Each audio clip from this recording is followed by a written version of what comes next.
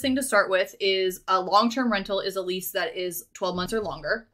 A midterm rental is usually furnished.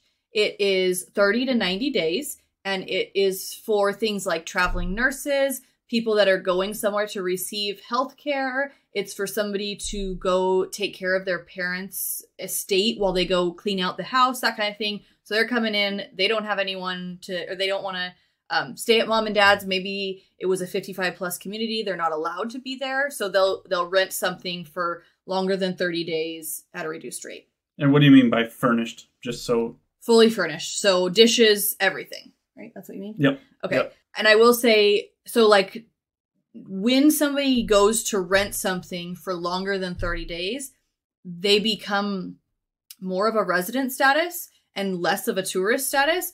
So the taxes go significantly lower. So, like, if somebody's looking to rent somewhere for like 22 days, if they bump that to 30, their tax rate can go down from like 8 to 18%, depending on the municipality. So like that tourism tax, that fee you pay to the the city, you know, you'll have a hotel and you'll have a cleaning fee and then you have this big old tax.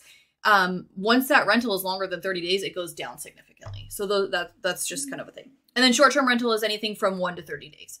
So those are also furnished.